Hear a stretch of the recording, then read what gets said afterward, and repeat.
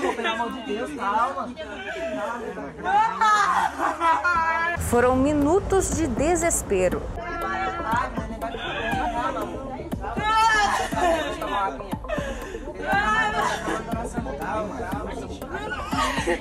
O recém-nascido já estava em situação crítica quando policiais militares chegaram para tentar salvá-lo. A mãe, aos prantos, acompanhou a ação dos PMs.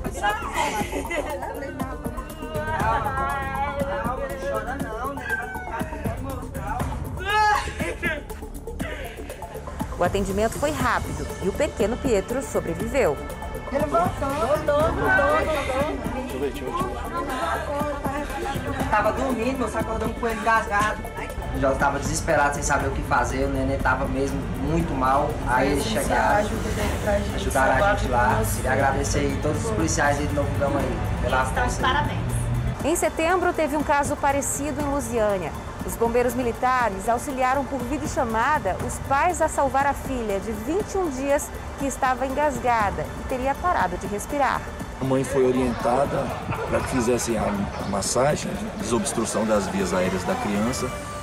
E à medida que a gente ia avaliando que a criança reagia e, expelia as secreções, a gente orientou a mãe a, a que fizéssemos uma videochamada para que, para que a criança fosse avaliada.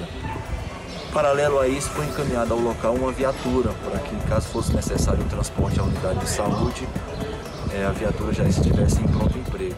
No entanto, nós obtivemos sucesso na, na desobstrução das vias aéreas, a criança voltou a respirar e ficamos muito felizes com, com o atendimento, estamos felizes por a criança estar bem, passar bem junto à família.